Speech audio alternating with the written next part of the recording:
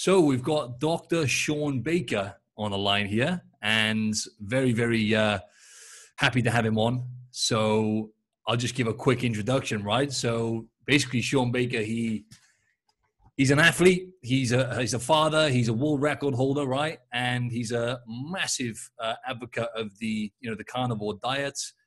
So you know he was the chief of orthopedic trauma as well. I'm I'm just gonna you know run through some of the stuff I've learned about Shawn. Um, so yeah, so basically he's a chief. He was the chief of orthopedic trauma um, out in Afghan, uh, 2007, to my knowledge. Um, there's just a massive list. Played semi-pro rugby you know, faced off against some of the All Blacks. Uh, he was first place strongest man, if I've got that right, in 2004 in Texas. Uh, American record deadlift holder as well. I think that was back in 2000. 350 kgs, drug free as well. I'd like to uh, drop that one in there because that's important. and not to mention as well, he was a two times uh, concept indoor rowing world record holder. And again, lifetime drug free. Um, so yeah, I could keep going forever. But um, how you doing, Shawn? Anyway, man, it's great to have you on. Yeah, well, well thanks for that nice introduction, and uh, I'm doing well. It's a, it's a nice day here, and uh, it's good to be able to talk to you. Yeah, awesome, awesome. So yeah, if you wouldn't mind just giving us a bit of a run through. Um, I know I just kind of covered the highlights of your of your achievements and stuff like that, but um, I just wanted to see if you could give us a quick insight into you know who you are and what you're all about, basically, Shawn. Yeah, well, I mean, as you mentioned, I'm, you know, I'm a physician. I was trained as an orthopedic surgeon, so I spent a significant portion of my career, you know, fixing broken people, you know, fi- replacing joints, you know, doing sports medicine treatments, you know, fixing tendons and ligaments and and and uh, uh, healing broken bones. And I did my time as a trauma surgeon during the, you know, during the Af- Afghan conflict, and uh, and so that's kind of my sort of background. But I've always been, you know, as I said, I've always been an athlete. I've competed in numerous sports. I still you know, I'm still a competitive athlete today, even though I'm, you know, in my mid 50s. So I, have kind of always prized uh, performance and, and uh, fitness and health. Uh, and um, I got really interested in nutrition about, I don't know, 10 or 12 years ago. And I've been kind of on this nutritional learning journey ever since. And, uh, you know, I kind of found some things that, you know, maybe, maybe don't align with what most people believe or think or have been taught or what our sort of uh, nutritional I don't know, experts uh, uh, tell us. Uh, and so I've been playing with, you know, what's, you know, what's known as a carnivore diet, which is the term that I actually kind of came up with when I wrote my book. And, uh, you know, we've just seen some really, really neat stuff happening with people that are, that are kind of realizing that meat is not a, it's not a bad food. It's not, it's, it's actually a, a very healthy food to eat. And, and so uh, that's been an interesting thing. And I've been out there, you know, kind of trying to get that information out to as many people as possible. I think the the, the over overlying message or underlying main message I have is that you know when it comes to health and nutrition and disease, uh, we are not really focused in the right direction. I mean, we're we're seeing you know this ever increasing push towards pharmacy, pharmaceuticals, and drug for this, drug for that. Even in the midst of this pandemic, we're completely um, minimizing the impact of, of improving one's health, their host factors, in lieu of you know let's just everybody take a drug. Um, and so I have uh, you know I, I, uh, with with everything I do, I try to say you know you need to focus on these things. We, we could literally um, completely turn the direction around with with this chronic disease epidemic, which is, which is only getting worse. It gets worse and worse every year. Instead, we are now kind of accepting it. You know, we've got this body positivity, obesity is beautiful, and it's not to say these these people should be shunned or denigrated in any way. But I mean, we, we should not glorify disease. I mean, we can accept that it happens and, and, and try to realize that people are dealing with that, but to, to sort of almost promote it. And, and then of course, the, the, the, the solution for that is just don't worry about your disease. We got a pill for that. You can just kind of continue on in your unhealthy ways and behaviors, and we'll just continue to medicate you. I think that's, uh, that is clearly the wrong message. Uh, unfortunately, it doesn't you know, it's, it sells well. Hundred percent. Yeah, a lot of money to be made in that. Yeah, couldn't agree more. Yeah, because obviously, you know, people being willing to change their nutrition, change their behaviors with food, change their lifestyle. Always the approach is, well, for the most part, is like take this pill, right, Shawn? So, talk us through your experience, uh, real briefly with me as well. I actually about a year ago, I was eating probably 60, 70% uh, plants. I was still eating a decent amount of meat and good quality meat sources, but gut issues. Um, couldn't get to the bottom of it for years. Really frustrating as well because, you know, I've been fit, healthy, you know, an athlete as well, um, competing at a high level and stuff like that. And yeah, that was the one issue that I couldn't shake off gut issues, skin issues as well. Long story short, removed, you know, the more toxic kind of plants out of my diet and now I eat animal based. I don't eat, you know, full carnivore like yourself, but it's been life changing for me in terms of my energy, my mental clarity, even my libido has shot up even more. Uh, but the most important thing was my gut health. And obviously, Shawn, you know how important gut health is. So it's been life changing for me. And thanks to your information, um, I've just ordered your book now as well. I need to read your book, The Carnivore. Uh, the carnivore diet, but yeah, I mean, it's really it really shined the light on the fact that actually when you when you kind of peel everything back and all the information we've got you know meat is by far hands down not even you know in competition with anything else uh, the most nutrient dense food on the planet right so if you wouldn't mind just giving us a quick insight into your journey mate with the you know your personal journey in terms of uh, the way you eat now and then maybe you know some of the stuff you've experienced with people that you've helped i've seen some of your transformations and uh, you know in terms of people just literally life changing uh, transformations with people so yeah. Um, so, uh, like you, I ate a you know kind of a, a mixed diet for most of my life, and I'm uh, you know like I said, a very competitive, highly successful. Athlete. And somewhere in my, I guess you know I'm in my mid 50s now. In my early 40s, I started to see that I was starting to develop, you know, quote unquote signs of aging. I was getting old, and I didn't really like that. You know, I was my back was hurting. I was, you know, I was, wasn't sleeping well. My blood pressure was going up. I probably was becoming uh, pre-diabetic, in fact. Um, all those things were, were going on. And so I, I, took it upon myself to start looking into nutrition because I was already exercising. It wasn't like I was, you know, just sitting on the couch. I was training extremely hard. I mean, when, I mean, I, actually, in that condition, I actually managed to win a world championship in Highland Games, you know, throwing these, putting on a kilt, Scottish kilt and throwing all this stuff around. And so I was performing still at a high level and training that way. But the nutrition part of it, I really wasn't focusing on. I mean, I, I ate plenty of protein, I ate plenty of meat, I ate plenty of food. I didn't eat a lot of junk, but despite that, I was still seeing um, these issues going on. And so I, you know, I went on this journey and I went through all different types of dietary variations and experiments and saw what worked the best. I mean, I did try the low fat, you know, mostly vegetable type of approach, which many people are advocates of. And, and, and yes, indeed, I did lose weight but I mean, I was just miserable. I mean, I, absolutely felt miserable. I was tired. I was hungry. I was cold. I was irritable. No one wanted to be around me. The nurses at the hospital were like, "We much like the fat Dr. Baker, way better." You know, because you're kind of being an ass. and it was true. And so I I, uh, I I started to shift my focus, and I started including more some more fat in the diet and more animal foods and eventually, you know, after you know, doing low carb stuff for, for several years, I, I, stumbled across a group of people that were doing this all meat crazy carnivore meat based diet. They called it a zero zero. They called it a zero carb diet, and I, I, I thought it was bizarre. I thought it was weird. I thought it was crazy. It seemed, but it was interesting. And so I, I kind of just kind of dug and delved more into it and, and kind of questioned some of these folks and, and kept an open mind. And after about kind of six months of, of, of kind of observing this, I said, well, let me just try it. And so I tried it, you know, for a couple days, and I was like, well, that's not bad. I, I kind of like steak and eggs; it's pretty good. I don't mind bacon and that type of stuff. And so that's what got me into it. And then, uh, you know, I, I kept going back to that and going longer and longer. And eventually, I got to where I did it for a full month. And at the end of the month, I mean, throughout the month, I was like really impressed at how good I felt. You know, I had uh, things that had really kind of bothered me. I mean, and, and the digestive part was one of the first things I noticed. You know, before, I mean, you know, I had digestion, which I thought was normal human digestion, you know, a little bit of bloating, a little bit of this, a little bit of that. And then that all went away 100% completely. And it was like I didn't even notice I had eaten food anymore. There was no perception of digestion whatsoever. That was eye opening to me. And so when the 30 days were over, um, I went back to my more mixed omnivorous diet and I immediately started to feel bad. I mean, everything that had gone away immediately came back. So at that point, I made a decision that, you know, I'm going to go continue doing this for, for, for a longer period of time. And then it went to 60 days and then three months and six months and a year. And I remember my girlfriend at the time goes, how long are you going to do this? And I said, well, I'm only going to do it for a year. then I got to two years and three years and so on and so forth.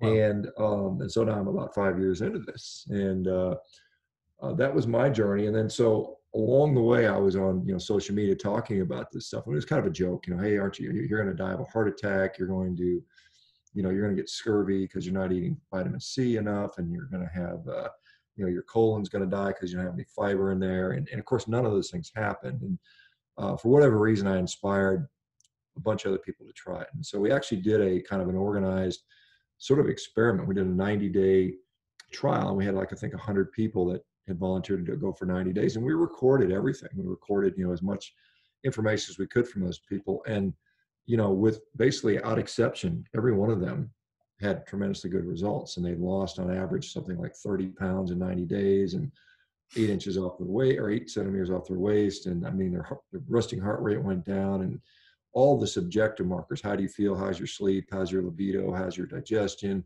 How's your skin on and on? Everything got better tremendously. So I said, well, there's something really here.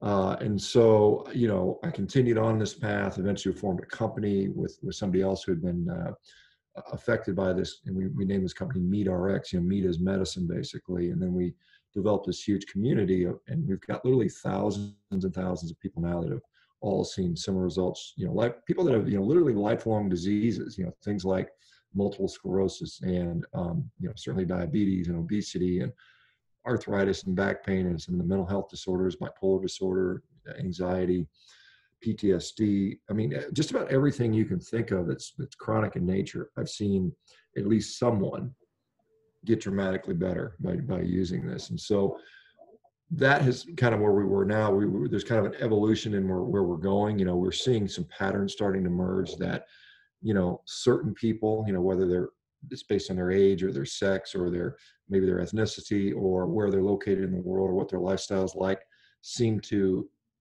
tolerate things better than others when, when we're talking about things in addition to meat certain people have different different requirements and so we're trying to figure that out so that's kind of the that's where we're headed at this point because we want to we want to make it as accessible as everybody first I, I, i'm fairly convinced that a carnivore diet as an elimination diet is very effective for just a tremendously high number of people for a high number of diseases and issues. Not everybody needs to do it, and not everybody wants to do it. And so we want to figure out what works, you know, with the least restriction as possible, I suppose, and the thing that makes it more sustainable. Now, some people are just completely happy just eating nothing but. You know, I got a guy that I mean, he's ground beef and bacon every meal, every day. He's been doing it for three years, and he's as happy as a happy as can be. Doesn't care, doesn't want to change anything, and it's fine. He's doing great and there's other people that you know they they they're happy to you know add in a piece of fruit or something like that or an avocado and we would just trying to figure out what's going to work for them what's not so yeah that's the deal right now yeah yeah no i see what you mean. Yeah that's that's awesome. I've seen you know on your page and stuff some of the you know just some of the stuff you post with you know the text and stuff that people have sent you. It's just unbelievable right? Because as you say with all the immune and that's another kind of thing we're facing now right? With with chronic disease is the obesity epidemic yes. Heart disease and i believe like immune immune issues now uh, are kind of just behind that right? So like immune illness is flying up right on a global scale. So mate that was um really good for clearing that up i wanted to, wanted to ask you in terms of like me because this is an issue i get shawn right with clients. And funny thing is, even myself, right? So I was eating a decent amount of, say, good quality grass fed red meat anyway, right? Prior to about a year ago when I uh, transitioned more into animal based. So now I just eat some fruit. I don't eat any vegetables. I just eat fruit, uh, like you know, berries, avocado, red meat. I eat uh, offal as well. So I get a decent amount of kind of beef liver in and whatnot. Um, and I have some bone broth here in there. So it's quite balanced, but I was always worried, even me in my head, I was worried about like red meats. You know, I had this thing in my head, like maybe not more than three or four times you shouldn't eat it because just, I just didn't know what was going on in my head personally because the bottom line is like, anyway, I wanted to ask you because I have with clients, for example, I've had, uh, you know, I'm a, I'm a transformation coach, so I was a personal trainer for years, but now my business is online and I help people a lot with nutrition now, right? So, some of my clients, Shawn, you know, um, they've gone to the, they've been getting great results. They've got leaner. They feel so much better, you know, energy levels, they're stronger, everything else. Then they go to the doctors and have a checkup. And the doctor, I'm sure you've heard this many a times, the doctor will say to them, you know, your cholesterol levels are really, really high. You got to be very careful. And then they'll come to me and they'll say, look, I'm going to have to cut meat out. I'm going to have to reduce my eggs and, uh, you know, egg yolks and stuff like that. And I'll try and communicate to them, you know, But the bottom line is, man, I wanted to ask you: saturated fat, cholesterol, these things that you know a lot of us are conditioned to still think are bad.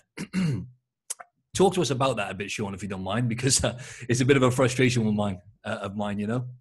Yeah, yeah. I mean, so I think the first thing is uh, when we sort of look at these sort of various biomarkers and their associations with diseases, we have to remember that that uh, we don't unequivocally know that the relationships are always, you know, the, the associations always hold true in every single population. You know, um, like you said, you know, these people they get, you know, so if we look at I don't think health moves in disparate ways. I think you get healthy or you don't get healthy. You know, you get sicker.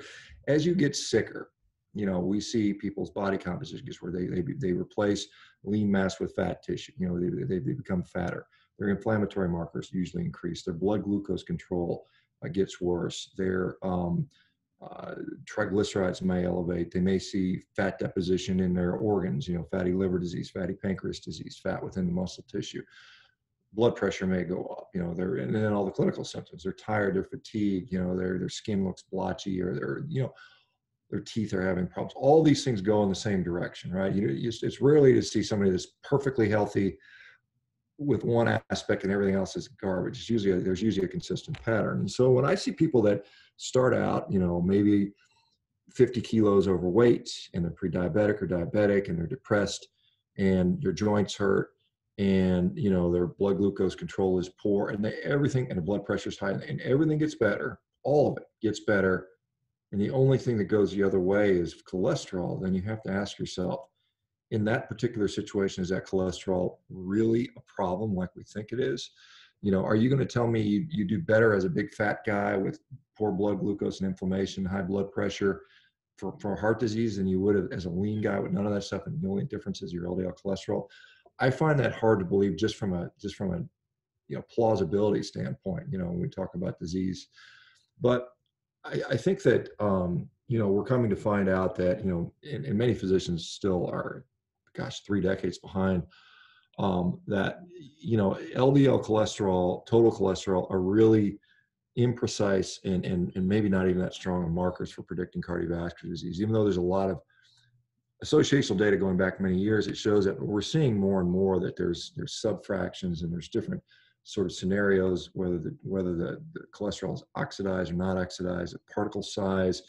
Um, you want to know things like uh, uh, like advanced lipid protein, you know, uh, advanced lipoprotein uh, testing, where you can look at the insulin resistance scores and things like that.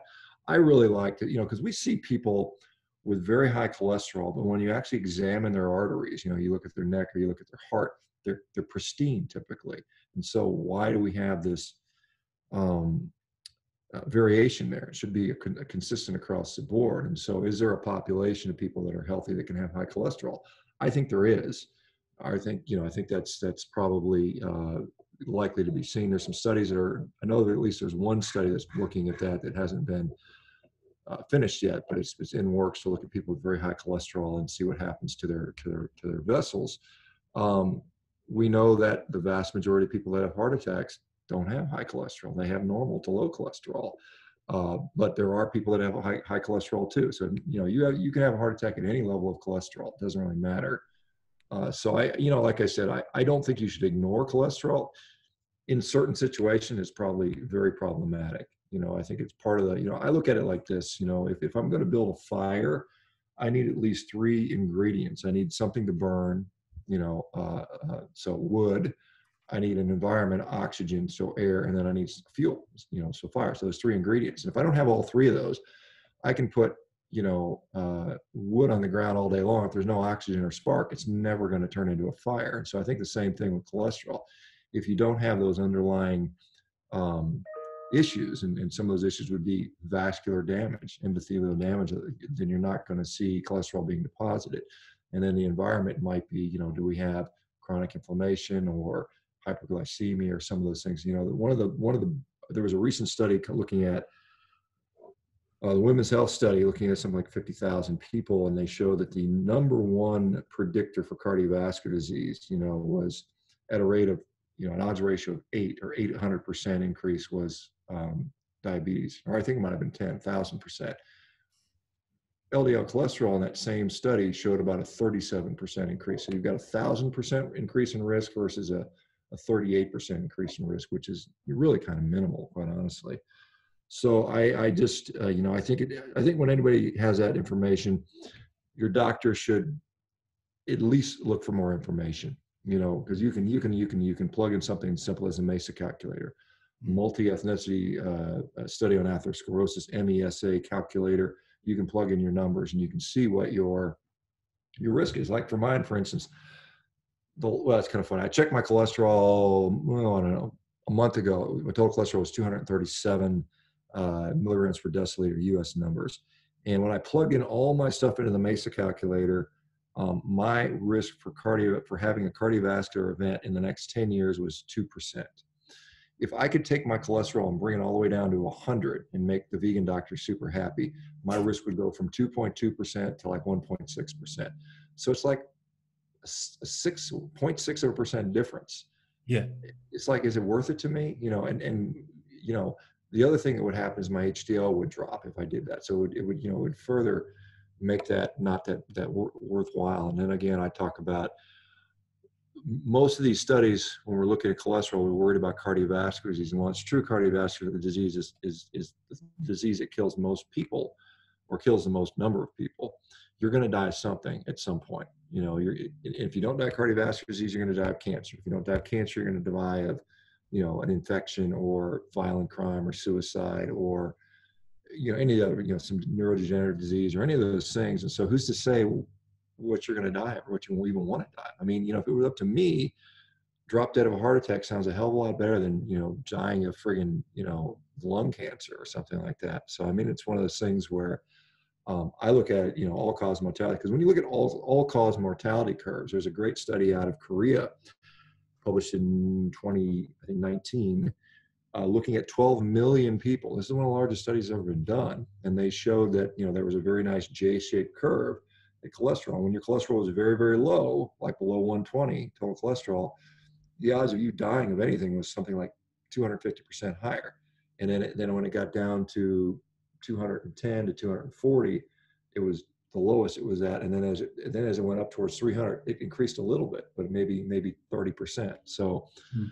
I think you know, like I said, if your goal is to live, then I'm, I'm, not convinced that you have to you have to necessarily have the cholesterol as low as possible. I think there's other things that matter, and I think at the end of the day, I mean, I, am going to say I don't know what makes people live longer. I really don't. I don't think because I don't think anyone knows, and I think if, if you if you use that as your operating framework, then the other thing is what, what other worthy goals can I have? Well, I would say, why don't we work on quality of life? Why don't we feel good? Why don't we enjoy the time we have on earth, however long it may be, not be burdened with disease, function well, feel well? And if that's our goal, then perhaps our recommendations look very differently. And as you pointed out yourself, if you're running around with gut pain all the time, or your friends are obese and have pain, and that goes away, to me, that's I think that's a worthy goal, and I think that's honestly that's probably all we're able to do with with with you know and and to actually say with any confidence. I mean, I know if I've got a if I've got a patient that is diabetic taking medications,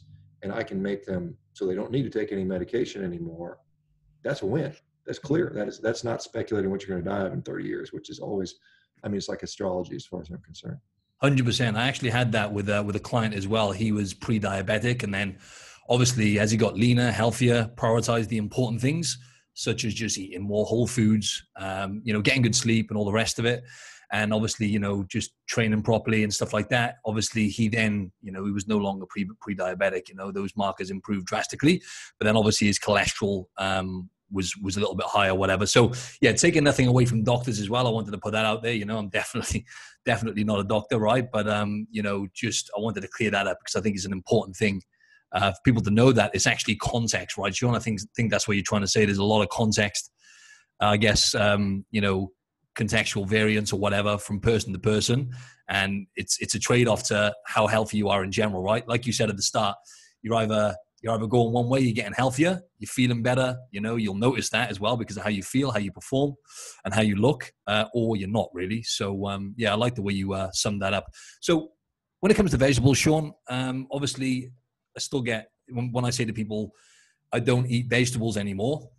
they're like, wow, someone said to me recently, wow, I'm, really shocked about that. I, I, thought you would have eaten your veggies, you know? and I was like, yeah, I used to eat, I used to be the guy, Shawn, who would eat like bowls of broccoli and cauliflower, loads of olive oil just on its own, you know? Um, but yeah, nowadays, because I don't, vegetables, you talked about uh, vitamin C, and you've talked about this many a times. I've looked into lots of your research and the studies you've shared. Uh, vitamin C, obviously, fiber, antioxidants. They're the three things that I get a bit of pushback on myself. You need those things in your diet. You know, you need to have vegetables to get those things in. Um, talk us through the vegetable thing, if you don't mind, uh, Shawn. I'm sure you get a lot of people asking you about this. Oh, you don't eat any vegetables. You know, you're gonna you're gonna die early. You're gonna die young. Yeah, I mean, so I think you know we have this sort of uh, belief that vegetables are the healthiest thing we can possibly eat, and we need to eat loads of them. And and you know, as long as we're eating lots of vegetables, we're going to have tremendous health. And and in reality, we see a lot of people that eat a lot of vegetables, and they end up having some significant health challenges. Now, I will say that I think vegetables and fruits and fruits and vegetables are a better food choice than much of what you find in the grocery store. Most of the, you know, all the ultra processed food, all the, you know, foods with all these, you know, highly uh, new ingredients. You know, I, you know, anytime we're eating soybean oil and high fructose corn syrup and artificial flavors and coloring, I don't think that's a good idea, quite honestly, or at least not having that in, in great quantities in the diet. And so, if you're eating a lot of fruits and vegetables, usually it means two things. Usually, it means number one, um, you care about your health, and so you don't eat the junk food. And number two, it often means you're fairly wealthy. Um, you know, at least certainly in Western countries, you know, because fruits and vegetables are tend to be more expensive, particularly if you're eating the organic ones, than the chips and crap, you know. And and so anytime you look at populations that are eating more fruits and vegetables, you're saying, I'm looking at people that care about their health, that have more money. And so automatically you've now just put them in a more favorable light, you know, and I think that's something that, you know, they try to uh, uh, correct for that with multivariate analysis, but I don't think they necessarily do it. Do you know the correction is whatever they think it might be. You know, there's a bunch of numbers anyway. They, well, we think socioeconomic status is worth 20%, so we're going to, but it could be 50%. And it may, you know, we don't really know that thing with the multivariate analysis, quite honestly. Um, so I don't necessarily think fruits or vegetables are necessarily bad or harmful for, for, for people, but I will say there are people in which it does cause harm. And I, I, that's just the reality of, of the observation. This is why you have practicing clinicians and make observations in the field. And you can't just discount that and say, well, you know, I, I've got 5,000 people that told me when they were eating, you know, whatever vegetables, they had some kind of digestive problem or they had some sort of issue. And when they removed it, it went away and it goes away reliably. It go, comes back every time I reintroduce it. So you have to at least acknowledge that that's going on. Now, why that may be, um, I think, you know, I think there's some evidence that our gut function has been compromised and it's getting worse, you know, as a, as a population, as individuals over the last several decades as our food quality has gotten lower and lower and lower and we're eating more and more things which i don't think are necessary things we are well adapted to eating. So we have a compromised gut and now this compromised gut which in maybe decades past could have easily handled asparagus and broccoli now for some people it just doesn't even handle that anymore. And so i think I do think that meat is a superior food. I think you know it's clear that it's easier on our gut for sure for most people. The way even if you look at the way our our anatomy is set up, I mean we are we are set up uh, primarily as a protein and fat eating species. I mean we do have the capacity to eat carbohydrates, and fiber is something that we can derive a small amount of caloric nutrition from, but is but is certainly not our priority. You know if we look at um, say for instance for fiber you know our capacity to uh, ferment and digest fiber uh, from a comparative anatomy standpoint you know if we, if we look at like say a chimpanzee or a gorilla you know other primates they have something like 50 to 60 percent of their gut is dedicated to fermenting and breaking down fiber. The human gut only has about 15 to maybe 18 percent of our gut dedicated to that. That's identical to what a cat or a dog has pretty much. They're both in that 15 to 18 percent range. So you know our diet probably could mimic that of a cat or a dog. And if we you know if we ask what well certainly cats eat they're going to be heavily animal based you know they cats surprisingly you know we always we would all agree a cat's a carnivore. I don't think anyone out there would disagree with that. However cats eat cat food that's dry cat food, and a lot of it has grains and stuff like that, and they can process up to something like a, diet of 60% carbohydrate. Cats can actually eat a 60% carbohydrate based diet and still survive, even though they're carnivores. And, and so, funnily enough, human beings are often eating a 60% carbohydrate grain based diet. Uh, even though we probably are what I would call facultative carnivores. I mean, we are obligated, we are opportunistic omnivores, meaning to say we'll eat whatever the hell we can find. And if Twinkies would have grown on a tree 100,000 years ago, you can be damn sure humans would have been eating them. But, you know, what we could get and what was available to us, you know, particularly as we evolved, was clearly a lot of meat. I mean, that's, I mean, that's, you know, if you, if you, if you think about how humans evolved and spread out across the globe, you know, if we, if the argument is we rose somewhere, maybe Eastern Africa, or some part of Africa. It always goes back and forth. But and then we kind of as as we kind of became you know, Homo erectus, you know, we they were the first ones to kind of leave Africa, we believe. You know, they crossed southern Europe and Asia, and then eventually we kind of came back and mixed in Europe, and then we then we kind of went from Asia to, across the land bridge to, to North America, South America, and eventually we colonized the you know Australia and the Pacific Islands. Um, we survived, and we are the most diverse species on the planet as far as geography. And the only reason we could do that is not because we had to eat some superberry, because there's no superberry that grows in all those places. The only thing that, that, that you can find food wise in all of those different places throughout the world are animal foods. You know, there's some kind of meat. And, and incidentally, humans, you know, if, if you go outside and look around, there's pretty much not a single animal that you can eat. I mean, every animal is on the menu, but 90, something like 98, 99% of all plants on the planet are not edible. They will either kill you or make you very sick. Uh, so, I mean, it's one of those things you can't make the argument that we're requiring to eat plants if that plant or those plants don't grow everywhere. I mean, the only plant I think micro in most places might be grass. You know, you can probably find grass most places in the world, but I would, you know, you can't eat it. yeah, unless you're a dog. yeah. Well, yeah. It makes it even makes dogs sick. yeah, the dog didn't get sick on that. So I mean, you know, I think it's it's uh, uh, you know, if you just kind of look at it from a from a just a common sense macroscopic view, uh, and discount some of the nutritional science, which I think is just, unfortunately, I think our nutrition science is not very scientific. I mean, I know there's scientists and PhDs and people that dedicate their lives to that, but it's it's just almost impossible to do good medical or, or nutritional research in people and, and make valid claims about longevity and, and health outcomes. I just I just don't think we can we can really do that. Yeah, hundred percent. And um, thanks for clearing that up as well in terms of fruit and vegetables not being necessarily demonized. I didn't want to come on here and kind of you know demonize vegetables and fruit. Uh, it's just to make people aware of the fact that you know animal-based foods, which we're going to just delve a bit deeper into now quickly, uh, are actually the most nutrient dense foods you can eat, all in all, providing you know it's good quality. Uh, so fruit and vegetables, I've got lots of clients who do really really well. Their guts totally fine eating vegetables and fruit. You know, fills them up more because of the fiber on top of the protein, and they're doing really really well. So, like I said, you know, there's there's so much individual variance as well, Shawn. Right, from person to person, like you said, when it comes to diet and metabolism, right? So that's why it's kind of you got to you know, in a sense, figure things out for yourself. Like you said, you've been doing with clients, Shawn, as well, right? You're still trying to figure out, you know, who does better, you know, with some fruit in their diet or whatever. Because sustainability is obviously, you know, really important as well as you as you touched on. So, in terms of meat, then, Shawn, just talk us through like the most kind of nutrient dense foods you would say, um, meat, uh, especially or animal based foods that you have in your diet as a staple, and that maybe you kind of recommend to people you work with.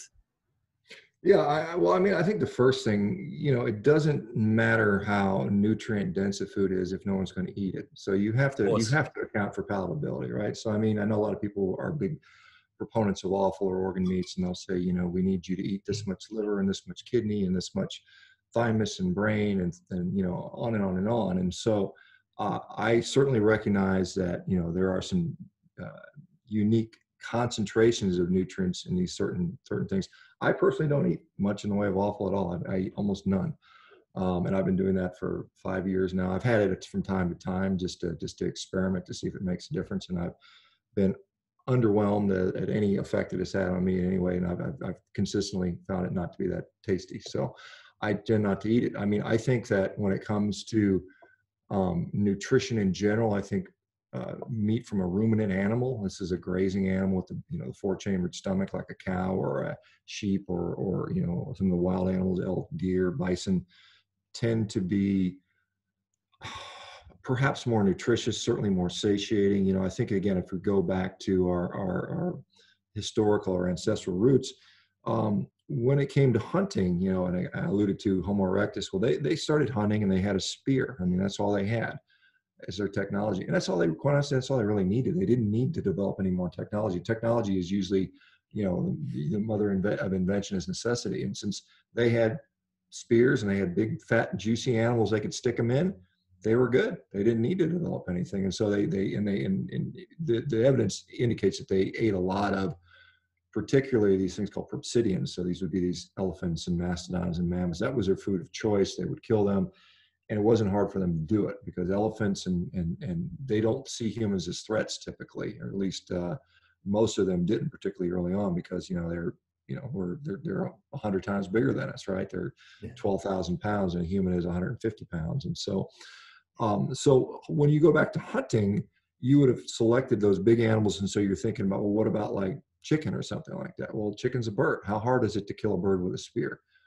and how much work do you have to do when you know relative to killing a mammoth for how much meat you can get so it's kind of an optimal foraging or, or hunting strategy if i have to spend three hours killing and butchering or butchering an elephant and i can get four million calories or whatever it's going to be would i choose that or would i want to how long would it take me to get the equivalent in chicken i mean it would probably take me three years to, to chase all those chickens down and kill them. And so that's what he, I think there's pretty clear evidence that's what humans selected to do and, and, preference to do. And so I think our evolution was based upon that. So ruminant meat, fattier meat, probably, you know, I think, you know, again, in the, in the absence of, of a lot, a lot of carbohydrate, you need to get energy from somewhere.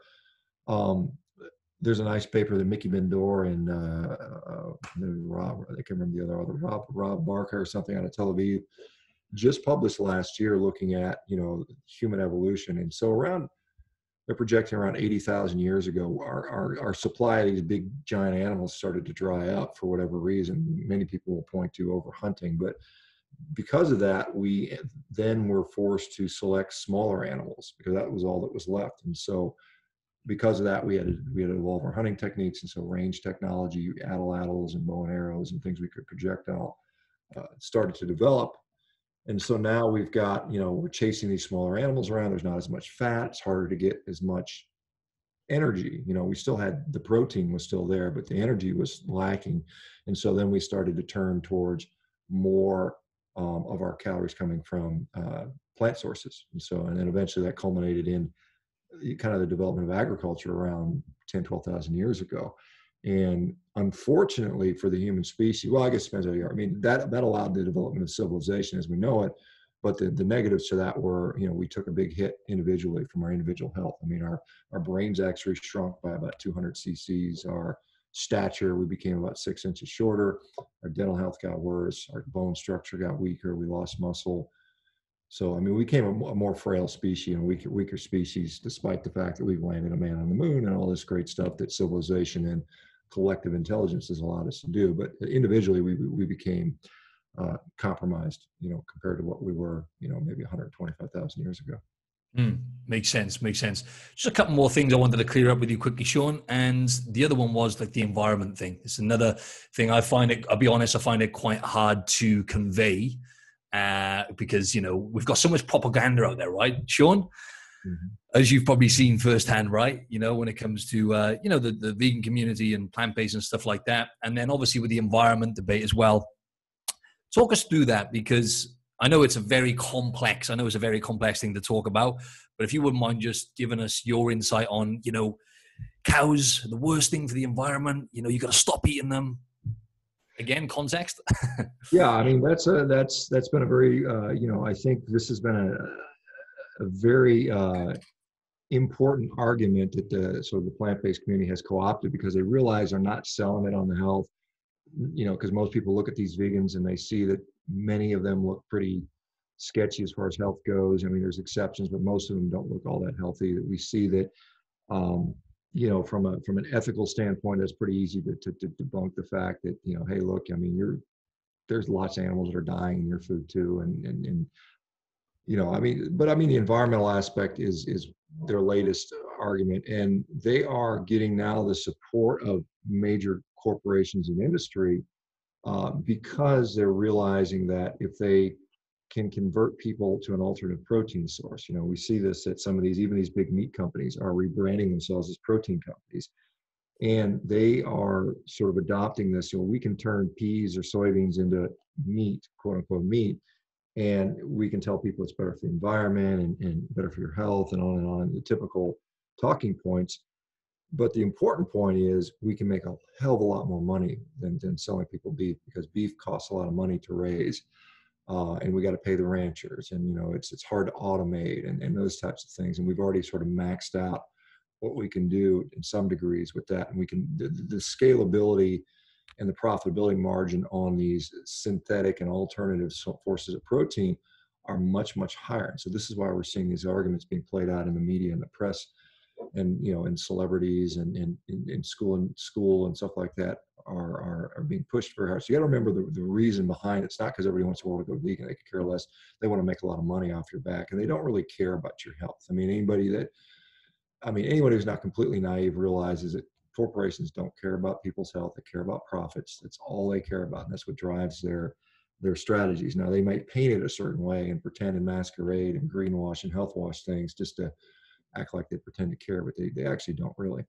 Um, but yeah, as far as the, environmental stuff, you know, we often hear that, you know, if you give up meat, you can save the planet from overheating because of climate change and all this stuff. And then they'll point to um, uh, data from 2006, a study called Livestock's Long Shadow, in which they de- depicted, uh, you know, cows being responsible, or well, sorry, animal agriculture being responsible for 14% of all greenhouse gases worldwide and you know, then they'll point to the transportation sector, and it's also around 14%. And they'll say, "Why God, it's more than cows and planes and boats and trains and all this stuff combined. By God, you should just give up meat." So what they don't tell you is that, um, first of all, uh, that 14% number um, looks very different depending upon what parts of the world you're in. So when I use it, when they use a global number, like for instance in the United States, you know, uh, where I live, and in Australia, it's probably not too dissimilar. Uh, in the United States, cows are responsible for 2% of our greenhouse gases. This comes straight from the Environmental Protection Agency. It's very solid numbers. It's been that way for decades. The numbers are always pretty consistent. Gas, you know, uh, uh, fossil fuels and uh, well, the, the, the, industries that use fossil fuels, transportation industry and, and energy sectors, they make up 80% of our greenhouse gases. And so you're trying to say that that 2%, me cutting back meat in the United States is going to make a 2% difference. In fact, I just talked with Frank Mitloehner, who's a uh, he's a greenhouse gas uh, uh, expert, PhD from UC Davis, and he basically says that you know if every American in the United States were to go completely vegan and give up all of the meat, and we got rid of all the cows, we'd have to kill all the cows, all 93 million cows, and you know. 9 million dairy cows and 9 million horses and 170 million cats and dogs. If we got rid of all of that and all of us gave up meat, the difference would only be a 2% reduction in our greenhouse gases in the United States. So it's, it's, it's almost pitiful. I mean, it's ridiculous. But they're going to play up these 14% numbers. And, and the reason it's so high is because most countries don't have much in the way of a transportation sector. There's not a lot of car, cars and highways and, and traffic in the middle of Namibia. You know, I mean, they've got cattle. So these numbers are higher because most of the countries are, are not developed. And so when you when you look at it from that perspective and you understand um, where these numbers are actually coming from. You know, I mean, I'll, I'll, most of us are aware of, you know, China is putting, putting out a tremendous amount of greenhouse gases. They're the world leading, the world leader in greenhouse gas emissions. I think India is right up there. And then the U.S. puts out a lot per capita because we're, we're not very uh, environmentally efficient, I suppose, uh, although we've, we, have we have shown reductions like no one else has in the last few years. Um, so that argument in me, to me, is is not particularly compelling. I mean, the argument about the greenhouse, uh, the, the the Amazon rainforest is burning. Um, there's a lot of nuance into that, but I mean, the, the, bottom line in the United States, the United States, about 0.5% of our beef comes from from from Brazil. 99.9, 99.5% of the beef in the United States is not coming from Brazil. Has no impact on the on the on the Amazon rainforest. Um, you know, and, and why the forest is being cut down. Number one, they need the wood. So lumber. The first reason they cut it down is get the wood, right? Wood is valuable for the for the construction industry, and then they want to maybe plant other products in there. They'll plant in coffee and fruits and vegetables and all these foods and some soybean soybeans for sure. And the soy um, is being first converted into human edible soybean oil. That's what they do. They, they press it for oil first, and then the leftover amounts are being shipped overseas, typically to China, to feed their pigs. The cattle are not eating the soybeans. They're not. They're, they're not the reason. Now what they do is, now they've cut down this forest, and they'll put cattle in there now to graze it. They kicked them out of the sugarcane producing country because before they were in the Cerrado grazing you know, down south where the sugar canes were. And then they say, well, we need to grow a lot of sugar. So we're going to move the cows somewhere else. So let's stick them in the Amazon. So it's much more complicated. You know, the arguments around water, you know, always see, well, you know, if you eat one kilogram of beef, it takes 27 swimming pools of water to produce. You know, this is an, some crazy number like that. And what's actually occurring is that something like 98% of the water, depending on what part of the world you're in, is coming from rain. I mean, this is what they're calculating. So rain falls on the ground, falls on the grass. The cows eat the grass, therefore they took that water, right? The rain was going to fall regardless. It's not like the rain, the cows are out there doing a rain dance, making it fall. The rain rains regardless. So, but they still count that in their calculation. That's like 98% of the water water footprint. Um, so, I mean, when you look at just blue water, that's irrigation water that came from an aquifer, the numbers look much, much different, but they don't want to tell you that. And then if we start comparing actual nutrients, you know, we look at lettuce water consumption based on grams of protein, you know, or, or something, you know, usable high quality nutrients, zinc or, or lysine, then it's not even a contest. And then cows even look, look super environmentally friendly. And then, and then that's not even to go to, some of the things we do, you know, as far as, you know, regenerative style agriculture, which many people are doing, has tremendous benefit for restoring the soil or for restoring the biodiversity. But there's other things that are being done. Uh, you know, Australia is one of the groups that pioneered this. You know, there's there's additives you feed cattle, and they can almost dramatically eliminate the methane production if we're worried about methane. And I think methane is overblown anyway. But if we're still going to say that's a problem, you can you can you can you can cut out the methane production from feed additives, any any methane in the manure you can suck the methane out of that using an, an anaerobic digester and convert that into uh, biodiesel or fuel the cow the, the cars can drive around or you heat your home or something like that so there are solutions that don't involve making everyone a malnourished vegan you know this is just hmm. again this this whole environmental argument is hey look we see a market opportunity we were projecting that the alternative you know alternative meat or protein uh, market is going to be 150 million, 400, 150 billion, 400 billion by the year 2040, 2050. And so these companies are aggressively trying to get into that space and they're marketing and they're spending millions and millions of dollars, you know, paying people to re- recycle their thing and trying to convince you that you know the only thing you can do to save the planet is give up beef you know you know don't turn your air conditioner down two degrees just stop eating meat you know or so you know it's, it's just nonsense. But but again you know it's propaganda. Whoever whoever whoever wields the microphone whoever has the loudest voice whoever owns the media yep. uh, is going to own the message. And you know unfortunately people don't know better and they are they're swayed by this you know the nice thing about it you know from a health standpoint is you can look in the damn mirror Hmm. I mean, you you know, I mean, the climate change argument is tough for me to, to to say because I can't. I look out the window and it's you know it's you know 75 degrees and sunny and looks great. Is it climate change? I don't know. I mean, I have to have somebody tell me if it's changing or not. Yeah. But for, with regard to my own health, I can literally walk in the mirror, wake up, and say, "How do I feel? What do I look like?"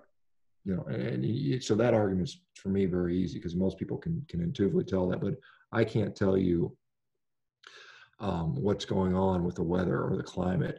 I really, I'm not, you know, aside from the fact that I've been to many ranches and talked with many ranches and I've seen how they treat their animals, most people have no idea what's going on with regard to ethics. You know, they're just like all they're they're seeing some, you know, cowspiracy or watch Dominion movie. These you know vegans and, and and then people, oh my God, that's what everybody does. And but if you don't actually go talk to the people that raise your food and actually understand that, you're never going to know. Or you're going to see some propaganda film. So so yeah, that's that's the deal with that stuff. That makes sense. Yeah. Um, so yeah, and obviously you did share recently that it can actually be good for the environment if you if you're getting good quality pasture raised. As you said, you obviously know you most likely know the people that you know produce your uh, you know you where you get your meat from and stuff like that. People who own the farms, and it's actually some research now I think to show as well that it actually can be good for the environment, right? Because it's like its own little ecosystem is that correct? Like obviously again is context, but that that can be true. Well, absolutely. I mean, there are there are ranchers all over the world uh, that are demonstrating that every day that when they graze and pasture animals in a certain way, it 100% captures carbon. They, they are net carbon negative. They are increasing biodiversity. The birds come back, the bees come back, the wild animals come back, the grasslands come back. The animals are not used, not exposed. To, there's no herbicides or pesticides being used. The soil's not running off. Uh, you know, on and on and on. And they're more, and the animals are uh, in in those situations often more productive. Uh, they can run multiple species in the same land area of land, so they can conserve land. They, they don't need to, you know, provide all these extra inputs. So, so it's so it's not only better for the environment, but it's it's often more financially lucrative for the for the ranchers themselves once they get up to speed and running. But it may take a couple years to to kind of turn things around. So that's that's one of the things that uh, you know hopefully we'll see more support on a, on a legislative way, so these people can get into this a little more easily. Mm. Last thing I wanted to ask you, Shawn, is really, really funny, by the way. You know, the stuff that you share on your pages, you know, I find it hilarious, right? It's so funny, man. So I, was, I wanted to ask you how you deal with the pushback you get from, you know, the vegan community and stuff like that. Obviously, it's clear how you handle it, right? You, you laugh, you have a laugh or cry, right? And like I said, some of the stuff you share is so entertaining. But yeah, you must get a hell of a lot of uh, abuse and pushback. I mean, a lot of people wouldn't be able to handle it. I can't imagine like just would you be able to explain to us some of the pushback you get, um, some of the people attacking you, and how you handle that?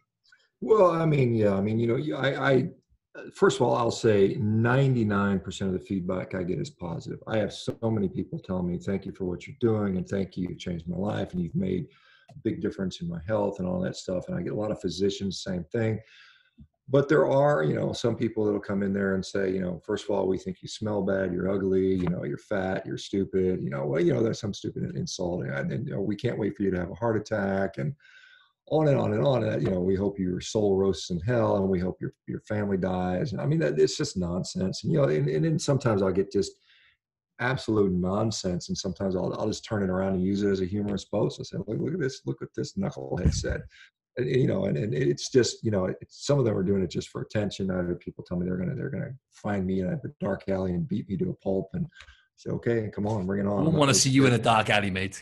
yeah, but I mean, you know, it's like, but I mean, that that that stuff doesn't bother me. But I'll tell you what does kind of bother me. This is something, you know, I was I had been on Twitter for about six years. And my account was suspended the other day, and the reason they gave me was some, was complete nonsense. It was like you had a video from 2019 that had music in it that was copyrighted, so we're going to suspend your your account permanently. I'm like, are you kidding me?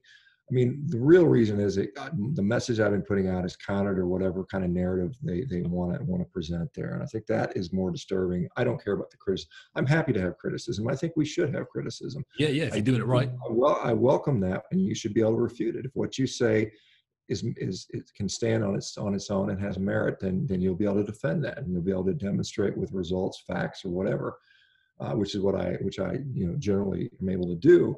Um, but when when someone is like, well, we're not going to allow you to have a voice, I think this is a very uh, you know serious topic, and I think this is something that uh, I mean we're seeing let this happen you know throughout the world like no other time. You know, most of this is again around this COVID stuff. But I mean, you know, we're we're seeing that trickle down to all aspects of you know, uh, you know what what your thoughts are on politics or even health now. And I think that's that's a that's a grave disservice because I will tell you that you know there is no settled science on nutrition at this point, as far as I'm concerned. I think most people would agree with that, but there are people that I don't know why. I mean, I don't understand the the the the, the reason why you'd want to not have discourse or debate, even if it's contentious, even though even if even if it's nasty. I think we should we we should be able to have that.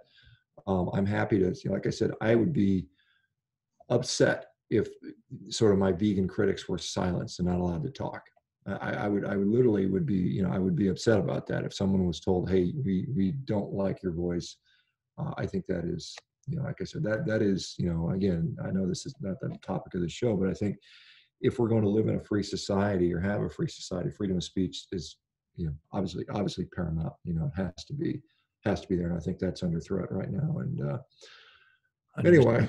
yeah, yeah, yeah, Anyway. but, just, but anyway, the haters are the haters I laugh at typically. It's usually, I, you know, I, have been through, I mean, gosh, I mean, I've been, you know, I've been punched in the face. My head's been kicked in playing rugby. I've been in the middle of combat zones. I've had bad things that I've been exposed to. And some moron on a keyboard who's anonymous typing out some stupid sentence, sentence has little meaning to me whatsoever. And I don't really, if I can use it in a humorous way, that's about the only time I'll pay attention to it. Exactly. And just to clarify what I said at the beginning, right? Obviously, you're an orthopedic surgeon, you know, in on Bagram Air Base, if I got that right, out in Afghan, you know, 600, I read something like 600 surgeries in that one base alone, if I've got that right, in terms of frontline trauma. So, yeah, some of the stuff you've seen, like you said, a keyboard warrior is not really going to phase you. So, mate, just real quick, what would you say to people? Because you're almost 56 years old. Have I got that right, Shawn? 55. I'm just I'm about to turn 55. So I'm. Oh, you're about. Sorry, mate. about to turn 55. That's right. All right. I thought you said you're about to turn 56 or something. Okay. So, and obviously, you know, if you just look at Shawn, for example, you can see that the shape he's in is insane. Also, you perform at a high, you know, you, you, you perform at a high level as an athlete still. We talked about, you know, just you're an athlete, right? Um, obviously, you know, you, you basically live and breathe what you preach, right? You're a picture of health. That's the bottom line. What would you say to people are the big rocks to focus on when it comes to health, getting in shape?